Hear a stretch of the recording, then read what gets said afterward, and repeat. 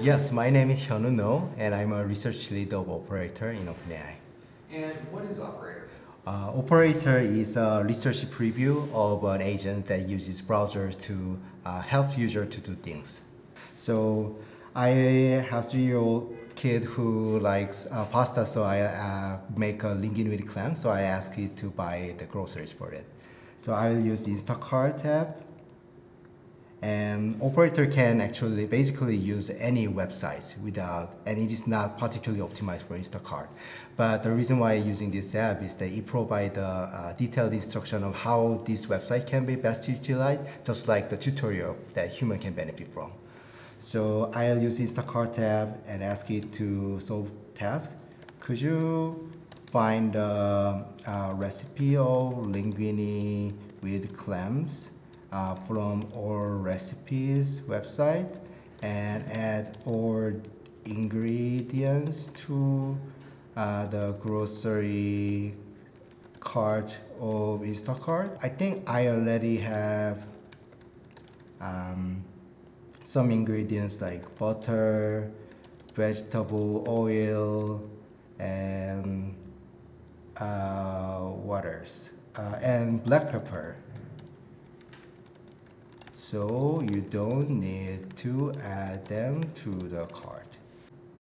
So it says that I'll find a recipe and then add everything in the uh, ingredients to the cart and okay it says that it'll confirm the ingredients and store with me before adding them to the cart so let's start by uh, finding the recipe. I'm not doing anything from now on, the operator is just doing and I'm just watching what it's doing. What is interesting with the operator is that it is using browsers that are built for the human and it is using the, seeing the exactly same script that I'm seeing right now and using the keyboard typing and mouse clicking to control the browser, just like human would do.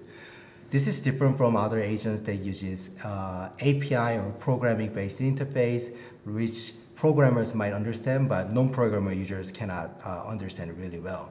So operator, because it is using the uh, this natural human interface, it's very easy to follow by just looking at what it's doing in the screen. Can you follow its progress? Uh, yes. So one way to following its progress is I can zoom in to see the screen better.